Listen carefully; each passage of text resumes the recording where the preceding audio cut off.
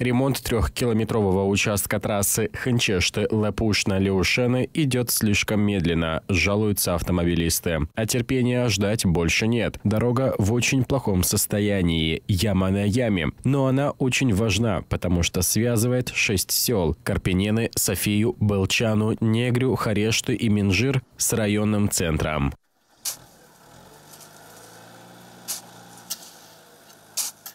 Работы на этом участке начали три недели назад, но те, кто проезжает здесь каждый день, разницы и не видят. Nu suntem mulțumiți deloc de atâta pentru că Мы совершенно недовольны, потому что они не доводят до конца начатое и качества нет. Завтра-послезавтра выпадет снег, и тогда не знаю, как тут проедем. Машину приходится ремонтировать 2-3 раза в год. Какая жизнь в стране, такой и ремонт. Трое работают, пятеро смотрят.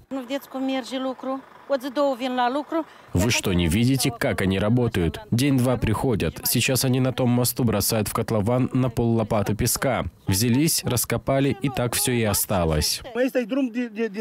И это европейская дорога? Так мы хотим попасть в Европу. Мы даже в Сороки попасть не можем. Менеджер компании, выполняющий работы, обещает, что ждать вечно селянам не придется.